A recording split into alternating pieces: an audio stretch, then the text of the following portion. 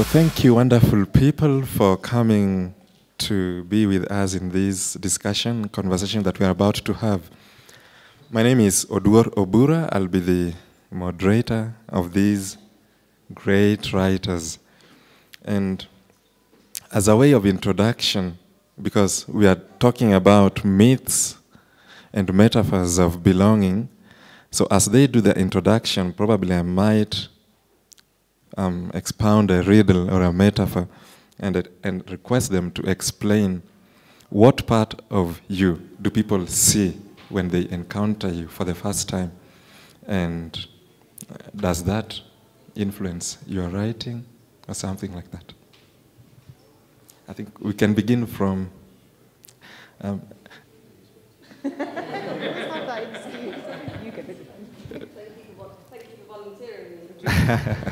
Is, is this working? Yes, I think it's on now. Thank you. Um, so, what do people see? They see, they think I'm younger than I am. Uh, they can quite easily tell that I'm Somali. Um, but in other places, the fact that I'm a black woman is the thing that sticks out first.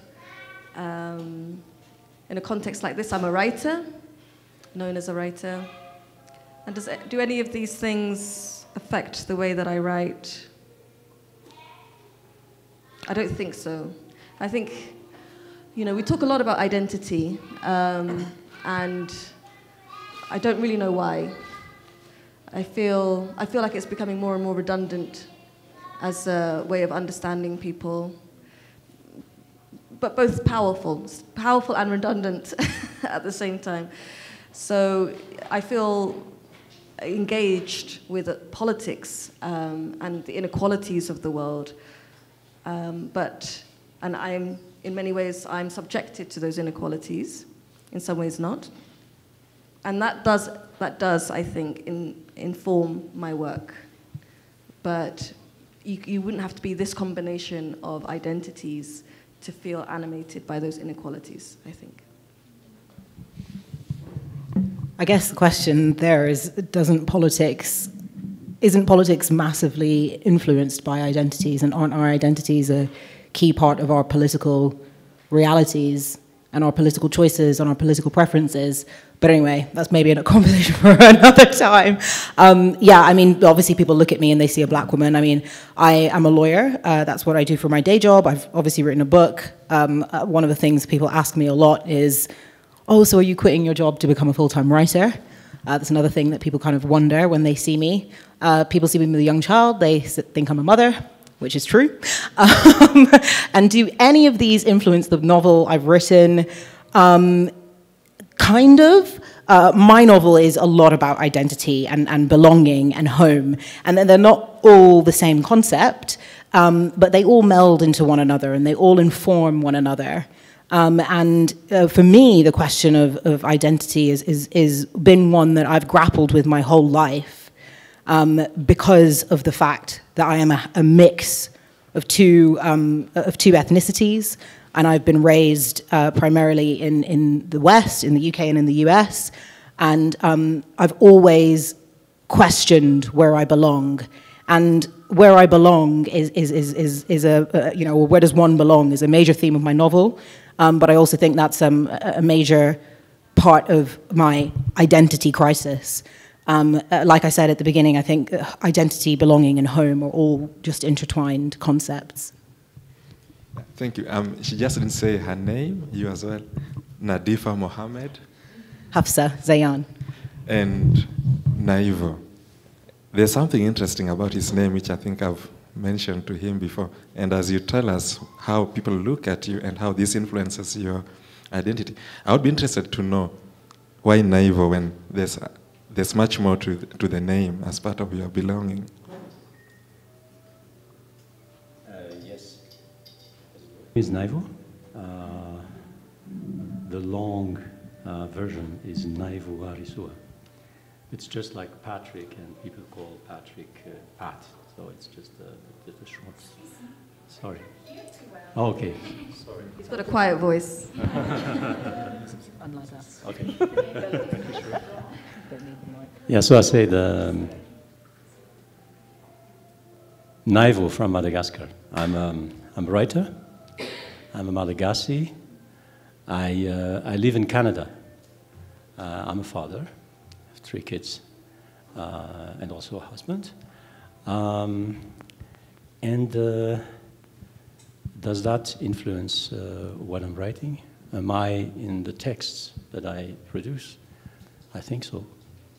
I think so because uh, my choice as a novelist was is a historical novel so far. So uh, we're talking in this festival about memories. Um, I think uh, when I started writing historical novels, my first targets were my own children to help them maybe know a little better about their culture, about their history. So yes, I'm very much in these uh, in these uh, in these writings, uh, and um, as a Malagasy as well, uh, there is uh, many things in my writings that are Malagasy. Uh, let's just, for example, the the novel that uh, that uh, we talk about here, historical novel, um, is framed as a traditional Malagasy poetry called hainteny. So when you read something that looks like poetry in it, it's something a little bit traditional. So yeah, so these are the ways that uh, I am in, this, uh, in, in the books I'm writing. Thank you. Um, you speak about um, memory, and this is something that I wish to take up later on in the course of the conversation. But I want to go to some interesting tension that you're speaking about when you mention identity being both powerful and redundant. I think that's a very powerful way of thinking about belonging. And I, I would, I, I'm interested to know more about these, you know, uh, that kind of dichotomy when, when you have something that is both redundant and powerful. And, and, you know, this is something that informs when, when the muses, you know, for example, allow you to, to write and you want to refer to identity. What kind of restrictions come into mind? What kind of openings do these bring to you? I, I would be really interested for you to say more, and probably all of you, on this. Which things in particular? Yeah, the powerful part of identity and the redundant part, redundant part of identity, and how these, you know, informs your writing. Okay, Please thank you more. for the question. Um, so maybe it's to do with the character of my last novel, Mahmood Mattan, who is always described in you know his ethnic terms. He was a Somali sailor, and when I was imagining him and researching him, it started to feel as if to me his identity wasn't as easily fixed as that. He was someone who left Somalia, Somaliland, British Somaliland as it was then, at a very young age, in his early teens, traveled throughout Africa, joined the British Merchant Navy, saw the world, ended up in Wales, and his Welsh wife said that he felt very British and wanted to fit in, um, and was constantly looking at the way that things were done in Britain. So I got the feeling of a man who wasn't as invested in these um, identities as I would have expected. So he was Somali, but lived outside of the Somali community with uh, black men from other parts of the world. He was a Muslim nominally, but had been kind of exiled from the Muslim community for, for apparently stealing from the mosque. Um, he was an African, but in that kind of context, there was a lot of divisions between different African groups. So uh, he, I think he was aiming for this individuality that a world in the 1950s, the world in the 1950s was not ready for. He was very much a colonial subject, a black man in, in a white country. So that's where the tension, I think, was really clear to me. The way that he saw himself and these identities that much later in prison he starts to think, God, I, I thought these identities were redundant but they were all I was ever going to be. I was going to be this subclan, this major clan, this Somali, this African. Um, and I could never outrun them. Um, and one of the things, the reasons that he is accused of a crime he didn't commit is he's a convenient black threat uh, for the police to pin this crime on. So in this, in the, in the political, socio-political context, it's it very important. But in terms of the way that we define ourselves, you know, in our internal lives and our spiritual lives, is it very important? No. And to get to, get to understand a character like Mahmood Mattan, I had to stop thinking about him as a typical Somali, whatever that might be. Um, yeah, I mean, I guess uh, from my perspective, um, there are communities within England that I would like to belong to or feel like I'm a part of. Um, and I don't think that I'm able to do so successfully without identifying myself as partly Nigerian, partly black, partly South Asian, partly female, partly Muslim, like whatever. you know, I'm fully female. as, in, as, as in, part of my identity is being female. um, and and so you know to, to, to, belong to any of these communities or any of these groups, um, I have to identify as, as as one of them, and I think that's the thing that I have kind of always struggled with my whole life, except from the female bit, okay? Um, but but but yeah, so so for me, um, I think I think that that it, it's not so easy to dissociate um, and, and, say that, well, you know, this part of where I've come from or this part of how I am physically or how I look um, can be sort of severed um, and I can be sort of like an international child of the world, which I am in some senses because I am so mixed and because I've traveled so much and because I've lived in so many different countries. I do feel in, in, in a part like I belong nowhere or I belong everywhere. Um, and, and, and, and that's kind of always been how it is. But, you know, that, that's how it is. I belong nowhere and I belong everywhere. So, um, so I, I, think for me, like, I, I, I, can't, I can't remove the fact that I have these identities, even, even in my personal you know, from my own personal and spiritual standpoint, um, I, I, have to, I have to associate myself with one or the other, or multiple of them.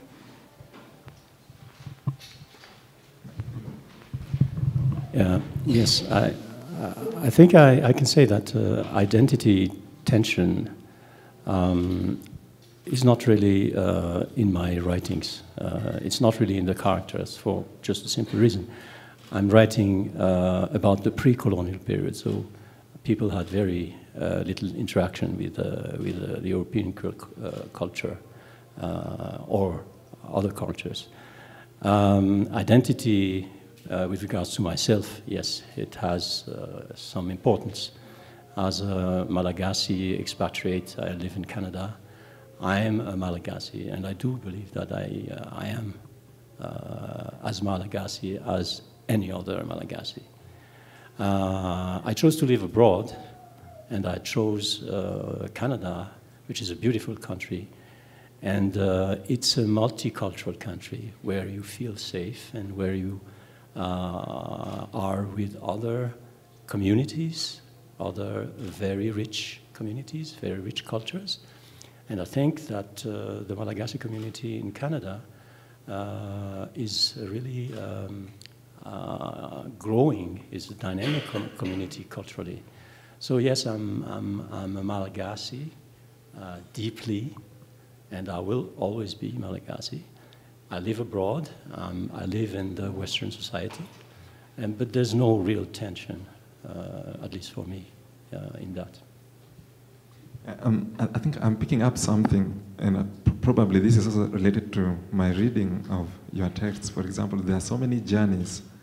You know, um, Soti, if I pronounce the name correctly, si, si, uh, the, the, what, the lead character in Beyond the Rice Fields, Tsito. Tsito. Yes, that. I mean, he makes a lot of journeys within within the novel from his origin, home origin, you know, to where he lives, back to the city, and then I think to move back to your first novel, Jama does a lot of journeys as well, you know, all over. And then I think also Samia, and of course you also refer to the expulsion of Asians, for example, from from Uganda. And I don't know, maybe I could be overreading this. Uh, you know, they, they say that once a child has been, has, has been um, born, you let the child live its own life, right? You don't impose certain characteristics or features on the child. maybe I, I was kind of imposing a certain reading of search for belonging in these um, journeys that many of these characters take in, in your novel. Could that be the case? And I'd be interested to know what you think about that. Well, it was interesting you said um, a child of the world. My father always liked to call himself a global citizen. And it was very true for him. You know, he, he was born into a nomadic Somali family, but left at a very young age, and then lived in Aden, in Eritrea, Sudan, Palestine, um, Egypt, Britain, and then traveled, traveled, traveled um, to around 100 countries in the world. So he wasn't fixed, his accent wasn't fixed, his, his beliefs, his ideas weren't fixed. Um, so, somehow, um, I feel like that's, that's the roots of my family. We are, we are people who move. That's probably a closer thing for me to connect to than saying, I'm from Hargeisa, where I was born in Somaliland, which has only existed as a, as a town, as a city for about 100 and something years. The, the older history is of constant movement, of looking at the horizon and seeing what's there for you. So, yes, I think I'm, I'm interested in wanderers, people who don't fit easily in anywhere, um, who aren't satisfied maybe being a solid member of just one community, and who are trying to form their own identity um, beyond um, a very narrow prescription. Yeah, I, I love that. That's really um, that's really beautiful. Um, yeah, I think definitely you're right that my character goes on a journey of self-discovery, as cliched as it sounds. Um, but it, it, it, was written partly to reflect my own journey um, and, and, my own sort of self-discovery of who I am and where I belong. Um, and I think, I think it's very common for a lot of second generation immigrant children, those living you know, in, in kind of modern day Britain whose families were born elsewhere, migrated over, um, either for really traumatic reasons like the South Asian expulsion, the, the focus of my novel, or just for, you know, uh, for more opportunities like my own family. Um, but I, I, I do think that the second generation immigrant children who, who are brought up in, in the West, and they have this disconnect with the generation that preceded them, and they don't really understand um, what their parents went through, and they, they don't connect. And, and you know the struggles that they face are so different to the struggles that their um, that their parents' generation faced. And you know, of course, it's all relative, and it's not to say that they're, they're um, you know that, that, that one is worse than the other. Everything is relative, but um, that process of, of learning about your history um, and coming to terms with where you come from and why your parents cook that way and smell that way and eat those things and speak that language and make you pray five times a day and all of this kind of stuff. Um, you know, it's something that I found most second generation um, immigrant children go through um, in their in their kind of like lives like growing up, and, and so it's something that I've been through, and it's something that Sameer obviously does in, in, in the novel as well. So I think that's where the, the, the sort of idea of the journey and the idea of self evolution kind of came about with my novel. Yes, uh, you're right, uh. Yeah, um, my main characters are uh, are also um, uh, going to, to a journey. For uh, the the main character is a slave uh, who's trying to climb up the social ladder using his craftsmanship. that was really empowered. Um, that really allowed people to to be empowered craftsmanship at, in the early 19th century Madagascar. And um, the other character, Fara, uh, she's a villager, but I would say she's a dreamer. So their journey is really a journey uh, to uh, a better world, uh, an imagined better world, maybe, but it's a journey to a kind of liberty. It's a journey to liberty, really. I would say, like Hafsa, that uh, this journey uh, reflects my own uh, search, not for belonging, but search for the roots of belonging, maybe. Yes, I think, yeah, that's a real sense of the, of the story. Um, and I'm just wondering, the search for roots of belonging, or even the search for belonging, is it ever, you know, achieved? In other words, is belonging a stable category? Is it something that someone can finally say that, yes, um, you know, I found my roots? I remember there's a story I heard of some um, Jamaican who was looking for his roots and somehow decided to, you know, the roots journey to settle back in Kenya. And then at some point realized again there's a certain cultural disconnect, having lived in diaspora in Jamaica, and now he's in Kenya at the coast. So is this journey ever, you know, attainable or do we just live without resolving these tensions? I mean, we, it depends who you are. It really does depend. On, if you feel like as if those roots have been cut, then there is something very important and solid about seeking them out. So people whose families were forcibly uh, taken, you know, uh, abused, and you know, all of their roots were cut off, being taken across that Atlantic Ocean. Um, so there, there is there's something that is unresolved. While if you grow up around people in, you know, in Kenya or in Somalia or Ethiopia that are like you, that sense of belonging is kind of automatic. It's not something you search for. Maybe there are other elements of your identity if, you're, um, if you stick out in whatever way, being disabled, uh, being gay, being um, you know, neurodivergent, mentally ill, all of these things can, can get rid of that, break down that feeling of real belonging. But it's not as if everyone is starting from the same place of, of need. Um, I think we all do, we all want to have a community. We all want to feel understood and accepted as, as we are. Um, and if you're black and you know, you're the only black child in Cornwall, just say, and there's no one who reflects anything about you, you're always visible, you're always hyper visible, then there's a pain there that is very specific. Um, while people who have more hidden reasons to feel as if they don't belong feel that, but are maybe able to navigate it in a different way. Respond to this? Yeah, I think that this, um, this uh, sense of belonging uh, will never, cannot be uh, achieved. Uh, it's something dynamic. It's something uh, that always goes on. Why? I'm not really sure, but to me, like, I recently heard um, a Malagasy scholar, uh, for example, a historian, just say like this plainly, I don't know what being a Malagasy is. I don't know what a Malagasy is. So this sense of belonging is um, challenged by his history itself. It's not that, uh, you know, that in the nationalist period we had this idealized uh, uh, identity, uh, the, there, there, was a political agenda, etc. But now is the time that we discover that our past uh, also has very bad things. all very bad things happened in our past, just like slavery we participated in slavery. We, we did uh, awful things. There were massacres. Uh, but that's part of our, of our belonging, I would say. Uh, we belong to that because we cannot escape it, and I don't think we should try to escape it. That's our memory, and it's uh, as important as the, as, the, as the positive things. Yeah, uh, that's, that's how I see it.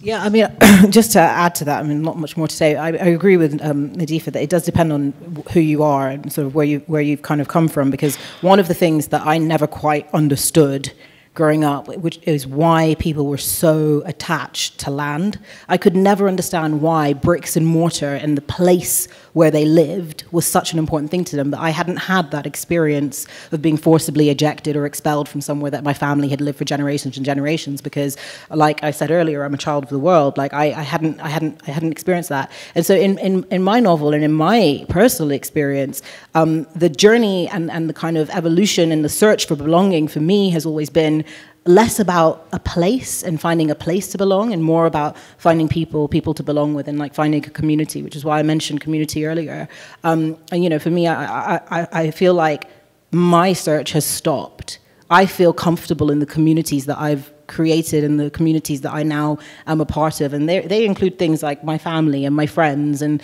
you know, they're not necessarily like larger social communities, but um, the ones that I have, have found and that I have made um, have helped me stop my search for continuing on. Like, just by way of example, one of my closest community of friends is a, a kind of diverse background of South Asian ladies. Um, and, you know, I'm fully South Asian to them. And they often say that I'm the most South Asian of them, even though they're ethnically all 100% South Asian. Um, you know, some of them don't even speak the language, some of them don't eat the food or whatever it is. Like I'm talking about small cultural things, but um, you know, for me in that group, I feel completely at ease as a South Asian woman. Um, but you know, so it, that's just a, one example of a community that I found that I feel like I fully belong in. Um, and, and for me, that that that has just stopped my search. Like I don't need to search anymore. But people are obviously continually searching, and some people don't achieve that. And for some people, it is about a place, and it is about bricks and mortar, and it is about land and about home. For me, it's never it's never been that way. Um, th that's interesting. Oh, do you want to? Yes. I, sorry, I just wanted to, yeah the, uh, the link to, to, to, land, I think uh, in the Malagasy case, it's, it's quite easy, I would say, because uh, the, uh, the, the Malagasy, they have this powerful notion of uh, tanindrazana, which means literally the land of the ancestors. So uh, you belong to a land for a particular reason, not because we were born there, but because you will be buried there. I think uh, it's the same for many African countries. You, you, will be buried, buried there when you die.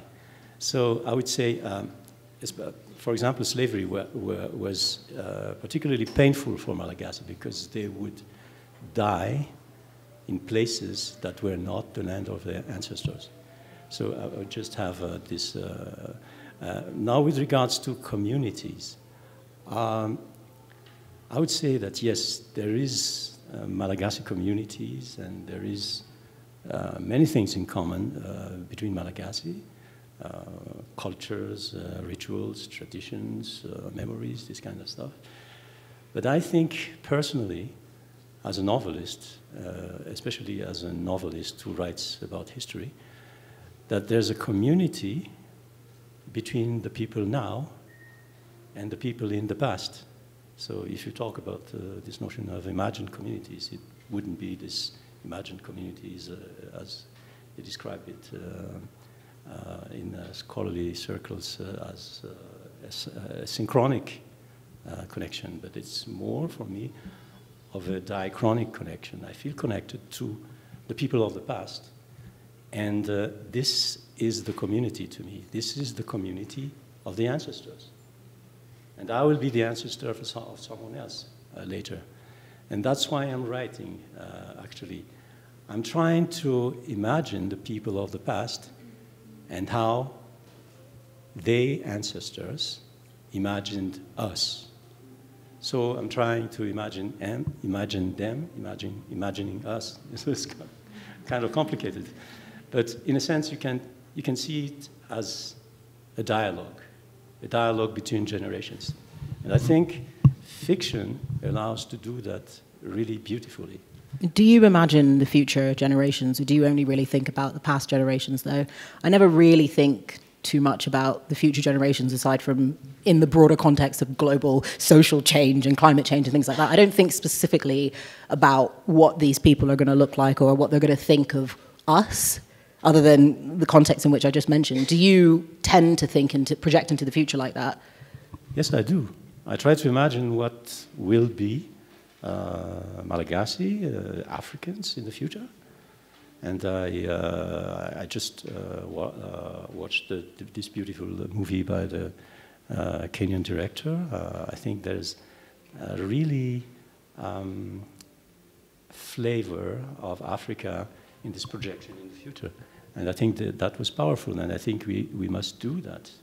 Uh, in, in, Madaga in Malagasy culture, there is this notion of dindo, D-I-N-D-O. It's like uh, to leave a dindo is to leave a trace of yourself. Not necessarily like uh, being famous and being in history books and this kind of stuff, just something that allows the new generations to remember you. So a dindo might, might be something just as like, uh, I mean, a tree in the garden that you have planted or something like that. So leaving a dindo is a way to connect to future generations. And I, I, I firmly believe in it. That's an interesting point you are raising, which I want to, I would like to tie with your point that um, belonging, you know, is a concept which can be assembled around different, you know, ideas and notions. For example, it can be reimagined using land, um, like you're saying, using the past, or using uh, dindo, what you, what you call dindo. And I'm wondering because you're saying that at some point you feel comfortable that there's no longer any quest for identity. And I'm taken back to some of the um, opening speeches, I think from Yvonne Owuor about humanity of the other, that when we are comfortable in certain identity spaces, how do we use these um, identity spaces? How can they be used against us even though we are not um, part of the other identity? How do we um, confront these identities, especially when we become attached to them almost to sort of a nationalist um, level of attachment to our own identity. How do you, you know, experience these in your diasporic spaces and in your fictitious lives that you create? How do you respond to this when someone is too comfortable within a certain identity to the extent of um, violating other senses of identities? The question is, how do you deal with a kind of hyper attachment to a national identity, ethnic yeah. identity? Yeah, yeah, you know, like a nationalist identity. Yeah, yeah. So I don't find, I find that kind of attachment strange. And it's very current, you know, there's all sorts of nationalisms at work in the world at the moment where people have to portray themselves as very unique, very particular. You know, we believe this, we do this. Um, if you fall short of that, you don't belong with us anymore. In Europe, it's this question of can you be, um, you know, not white and be German or be British or be Norwegian. Um, and that there is a real tension between people who think you can be and people who really genuinely cannot let go of this idealized sense of a pure identity. Um, can you be Muslim and Indian? Can you uh, be Somali and Christian? You know, all of these things are seen as being a package deal. You can, you, you can only be this in one way. Um, and I feel, I feel like it's probably coming from something else you know, a, a sense of chaos or a fear of insecurity, um, a fear of your own social standing disappearing. And that's what makes people cling to these very narrow ideas of who, how to be and who to be. Um, for some reason, I, I've always felt a bit suspicious of fitting too neatly into any group. I prefer to challenge that group, whether that's the British, whether that's the Somalis. I feel like that's a, probably a more truthful um, way of living um, rather than constantly feeling this pressure to, to assimilate. Yeah, I can definitely work from that. Um, I, it's interesting. I guess there's two aspects. There's the clinging to your sense of, you know, your sort of like very nationalistic sense of identity as an immigrant. So, for example, I remember growing up, my dad would always say things to me like, oh, Nigerians don't do this. Dad, can I go cinema? No, Nigerians don't go cinema. I'm like, do they not? We don't have the cinema in Nigeria. Like, but Baba, please. Um, so uh, there was that one sense of, of my family trying incredibly hard to stick to what they thought were these, um, you know, Nigerian, probably like Muslim values.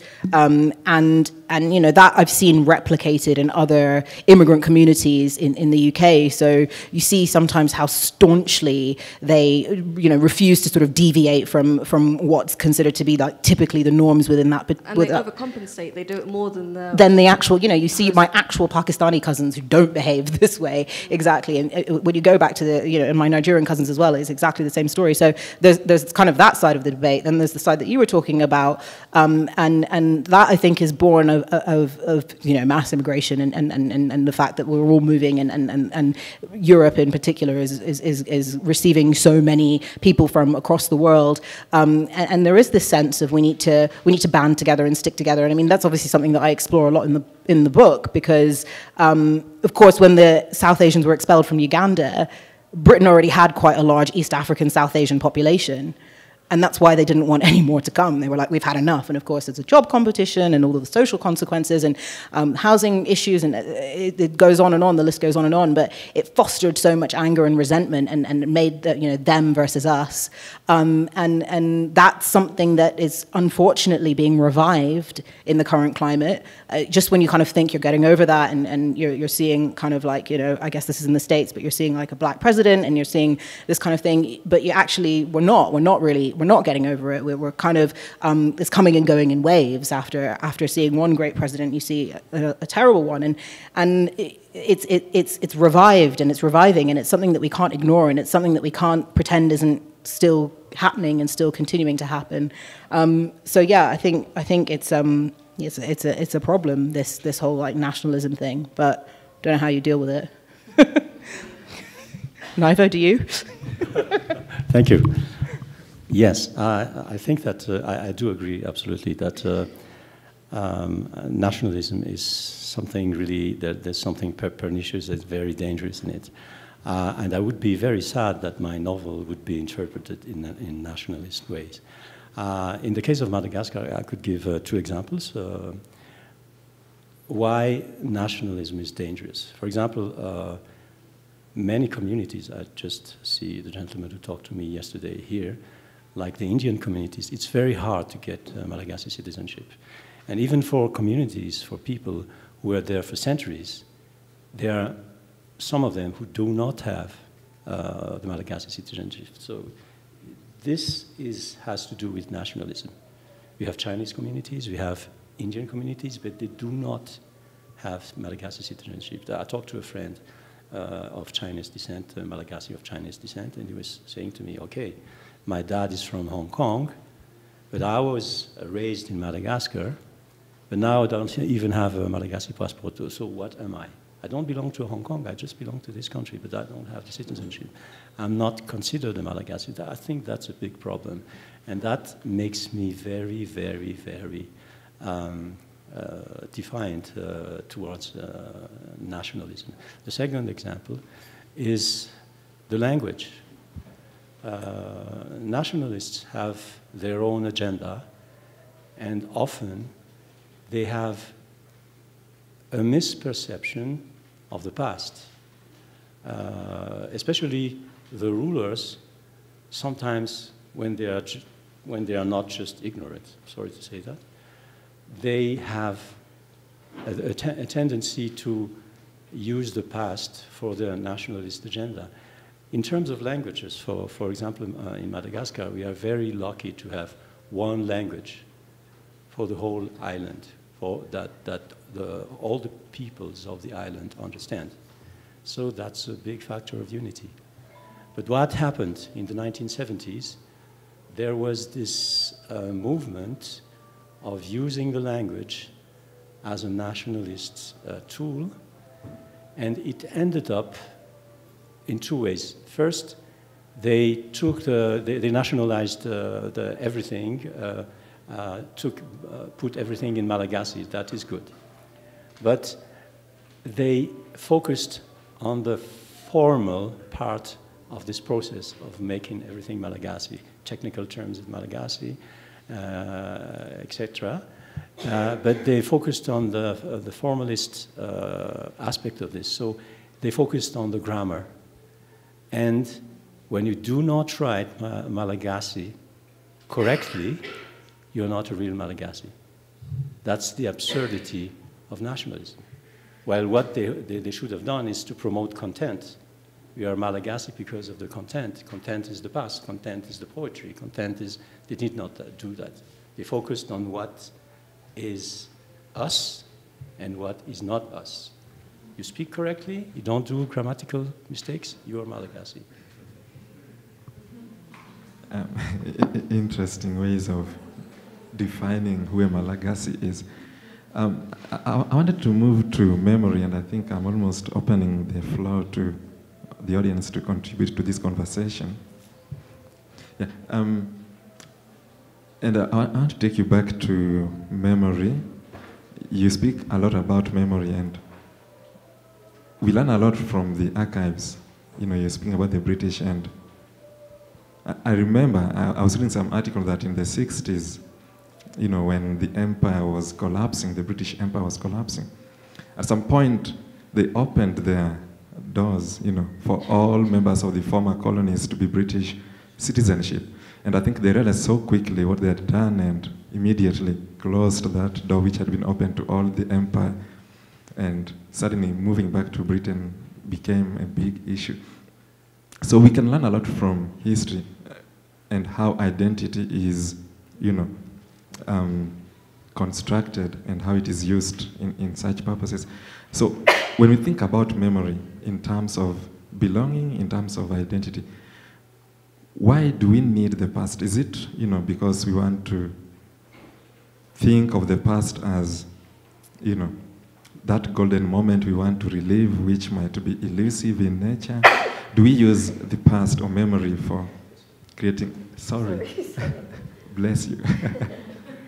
um, do we use memory to kind of fashion ways of looking at identity as, you know, something that one separates us from other people or something that also makes us think of ourselves as superior to others or something. You know, what are the uses and abuses of memory in terms of creating belonging in our fiction and in our everyday lives? I think we use a lot of history in our, almost all the novels I've written. There's an element of history. How does this feed into I think Britain yeah. is an obvious place to think about that. You know, mm-hmm. we had uh, the loss of the Queen, uh, Queen Elizabeth, um, and it was very, very strange what happened afterwards. Um, I think the country is in a very unstable point, and she had been a point of stability. She'd been there for 70 years. You know, everyone was, was used to her as being the head of state, um, and as she got older, she became almost like a, you know, this familiar kind of maternal figure, figurehead. So, you know, people were queuing in, the middle of the night, in the day. um, 250,000 people queued to see uh, her coffin in Westminster Hall. And it was, the BBC was full North Korea, um, talking about, you know, um, the royal family in this, in a, in a religious way and it tapped into something which I often, we can often ignore about Britain as a modern state, but it's created this very, very, very strong narrative based on its history uh, of royalty, of conquest, of military might, um, of Christianity, Anglicanism in particular, um, and that is the state. That is the state. The state is more complicated than that on a day-to-day basis. And you know, the empire was forced to become multicultural in some respects. Um, but this is the essence of this state that some people will stand out in the cold for in the middle of the night. Um, and we all feel a belonging to this country in, in different ways. But you know, the, the land of Shakespeare, of, of, um, of Wellington, of you know, the Blitz, all of these shared cultural experiences, some of them shared by people from non-British, non-English backgrounds who were living in this, you know, there's, been a, a, multicultural population for centuries in Britain, um, but often not part of the narrative, kept out of the narrative. Um, but often spotted in different ways. So if you go to Trafalgar Square and there's one of the, in Nelson's column, one of the figures, one of the sculptures is of a young black sailor they're there, but they're almost like ghosts. Um, and when the state is, in, is enforcing its narrative, its mythology, it's, it's, it's very different to people like us.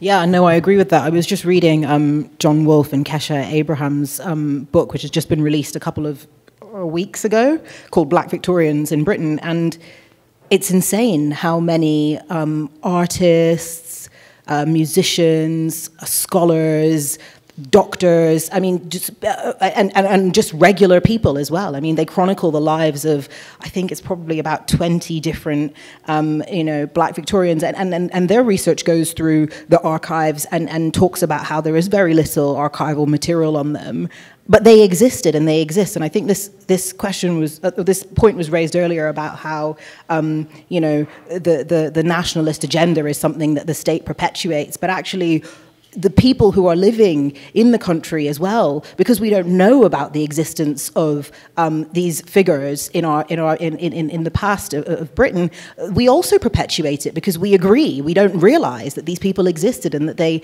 they they exist. And so, uh, I mean, this is probably not really answering the question. I was just picking up on what you were saying. Um, but what was the, the question was about the past? Yeah, the question was about the past. I I, I, I tend to find that I yeah, I focus a lot on, on, on the history and, and what happened. It is focused on the question, actually. You're right. I'm coming back to it. Um, but yeah, I do focus a lot on the, on the history and, and, and what's gone because for me, it really informs the present. Um, um, and, and, obviously, like I haven't looked that far into the future, as I've suggested earlier. I'm too obsessed with the past. But um, one of the things that I I found, especially when writing we're All Birds of Uganda," I guess there's two things I want to say. Um, the first is that I wanted to, to, to see what parallels there were between the past and the present and to see to what extent the, the second generation immigrant living in, in Britain um, with, with this, these family ties to, to Uganda, um, he kind of thinks that he's very different to his, to his grandfather. Um, in particular, culturally, socially, um, his views towards the black community. And, you know, my novel tries to draw out the similarities between them um, and, and just tries to explore a little bit about why he thinks that his grandfather was so abhorrent and his views um, towards the black community were so abhorrent yet he at the same time does perpetuate a lot of black stereotypes you know? And so I, I i was trying to draw these parallels between the past and the present to, to explore why we haven't moved on so much. And you know has has the dialogue and the conversation maybe the parameters have shifted like things have changed a little bit but the issues at their core remain the same.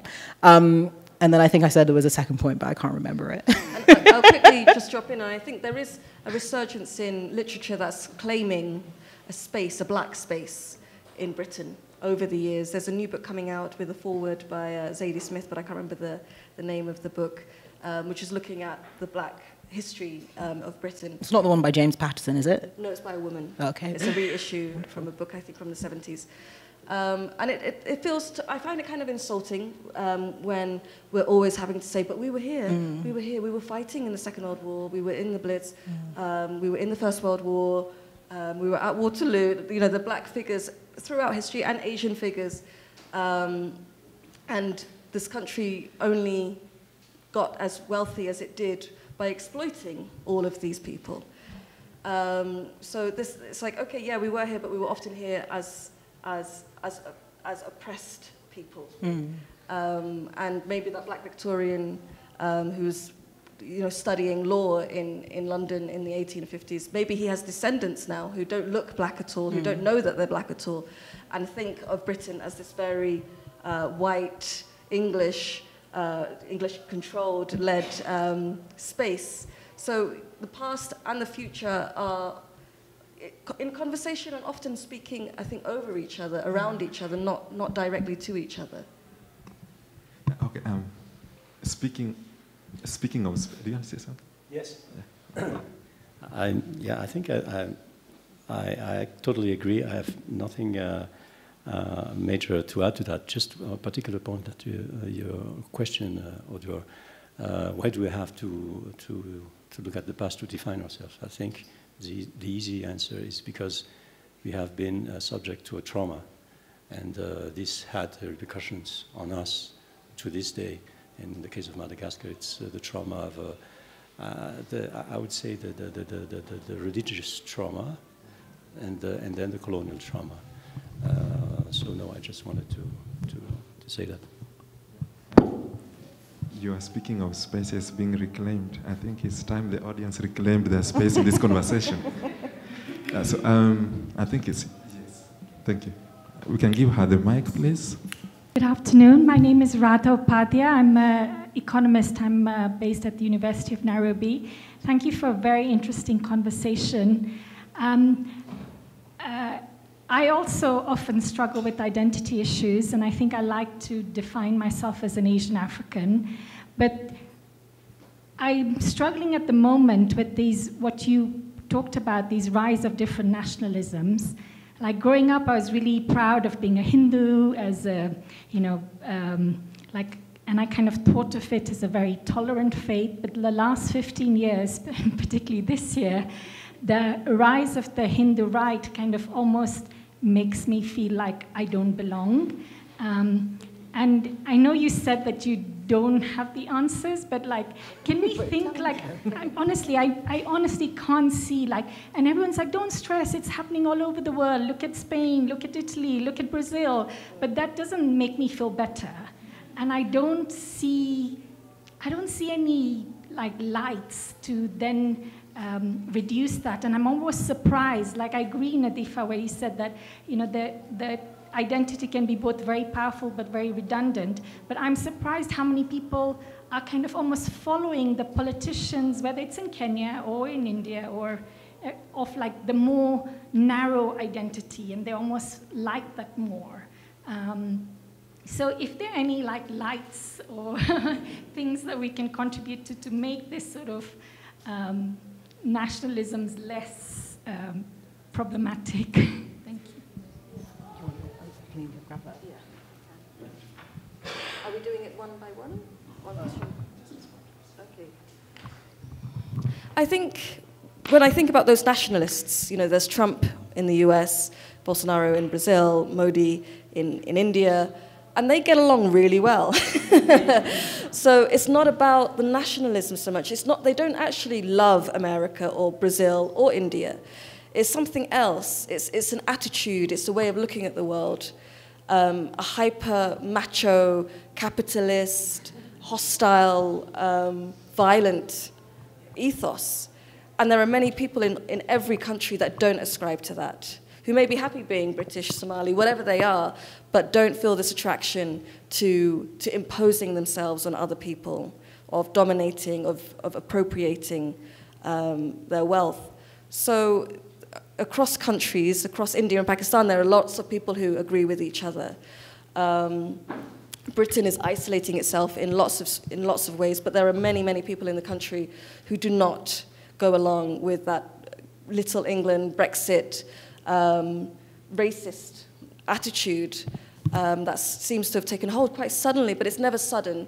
It's, I think, this, this wave that comes and goes, and it was present before, um, you know, when the South Asian, um, South African South Asians arrived, there was a, a, steep rise in racist rhetoric, and you had Enoch Powell with his speech about rivers of blood coming from this, this invasion of black and brown people into Britain.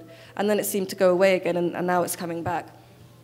So that does give me hope. You know, they are very vocal, they're very aggressive, they, they, they sow division between people but it's a, it's a very specific and kind of perverse way of looking at the world that they all maintain.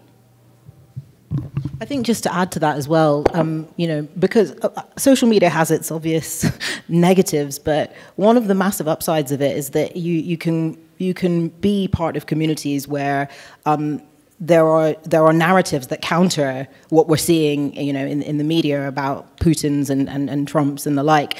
You know, so I've felt comforted sometimes being in those spaces where I recognize that even though these horrible things are happening in the world and it seems like the whole world suddenly has a really strong nationalist agenda, actually there are these there are these voices um, that are taking up a lot of space. I know it's on the internet, but it's still a community that you can feel a part of and you can feel some comfort from the fact that these these people, you know, they're shared kind of understanding with you and, and, and you kind of feel, um, I don't know if that's some kind of light.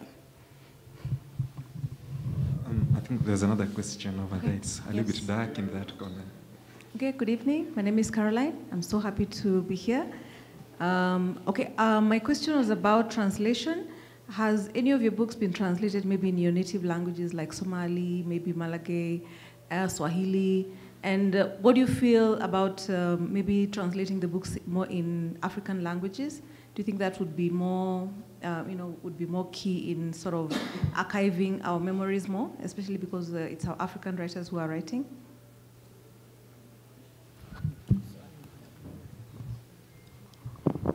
Yeah, thank you for the question. It's a very important question.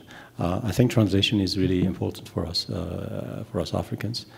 Uh, I would love uh, that my novel be translated in, in, Kiswahili, for example, and I'm looking forward for uh, to to African books, other African books translated in Malagasy. Unfortunately, it doesn't happen, and there's an effort to, to, to be done here. as I said yesterday, I think, I only discovered uh, things fall apart uh, when I was in university. That I would love, uh, I would have loved to, to, read it in Malagasy when I was in high school, for example. But uh, we only had the translation that we had was, uh, I don't know, Molière, uh, this kind of stuff. some Malag Malagasy poets translated French poets or French um, um, playwrights. yeah, I think it's very important that maybe this kind of initiative like uh, Macondo could lead to that. Why not? Uh, because translation is not only something like uh, you push a button and you and you change languages. It's not that. It's a creative process, and I think that we should uh, promote uh, this activity within uh, in connection with the literary activity, and that we should read each other. Thank you. My novels should be coming out in Somali. Um, they're in the process of being translated. Um, it was it was meant to happen earlier and it didn't, but inshallah it will happen from now on. Um, and I think, yeah, I'm very, very happy for that to be the case. And I would love my novels to be translated into Swahili, Amharic, Tigrinya. You know, my father's journey covered 10 or 8 different African states. Um, and in a way, it feels like it's not just a Somali story, but it also belongs to all of these places that he passed through, who he fought in. And he, in Eritrea, he was taken in by a, an ethnic group, the Kunama, who were matriarchal, and they gave him land. So it feels as if I, I would like to, to read that story, tell that story in, that, in their own language, as a way of saying thank you, as a way of fostering these bonds that seem to appear and then are not fostered for very long. Yeah, um, just to clear up a misconception, authors don't have that much control over which um, uh, languages their novels are translated into, and I say that much. I mean, they have no control. Um, it kind of gets handed over to the publisher and the agent and whoever's um, negotiating your translation rights. So it's not as if um, we decide, oh, I want my novel translated into Swahili, this language, this and, and then sent across the world. So yeah, I'm caveating my answer because my, my novel hasn't been translated into any other languages yet. So that's, that's why I prefaced it. I didn't choose that. I wish it had been. and maybe it still will be. It's, it's, a, it's an ongoing process. Some novels don't get translated for like 10 years. Yeah, I, I just wanted to say that uh, tra translation is not, is not only about uh, being read uh, by other people in other uh, countries and in other cultures. Uh, translation is also about empowering the native languages because this is very important. Uh, when a child at school can read, uh, I don't know, uh, rivers of blood uh, in their native languages, for example, that is very, very important for the African creativity, for our creativity. So I just wanted to mention that. All right, wonderful people. I'll not say ladies and gentlemen because I don't want to be cancelled. So we've come to the end. So thank you very much for being part of this conversation. Can we give please a round of applause for this one?